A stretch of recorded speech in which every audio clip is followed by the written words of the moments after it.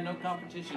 He sang songs and he made- wrote them himself, and they were just like that. You can't roller skate in a buffalo herd and some things of that nature. but I got. Roy Orbison is always is really good. He can sing it. about four octaves. He Paul can, he can go Anka. from way down Oh, to two. Paul Anka, well, there's a guy. And I, I watched them and went to, Dro- to Jacksonville and saw him when I was a freshman in college. Which is nice. Yeah, freshman in college.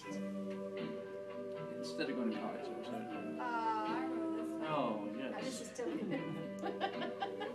this Teen Angel?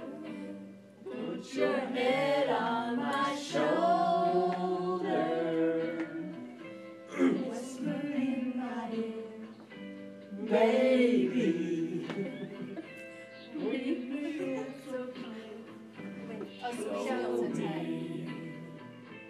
That you love me true. Put your head next to mine. They had a way of working didn't They they? didn't really like. They weren't really singing for sake. Shallow generation. They just laid it on They were singing with a purpose. We'll fall in love. Yeah, that's right, yeah. Try it, might work.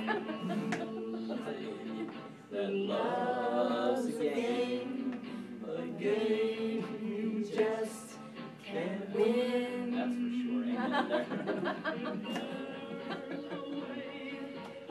Find it some way.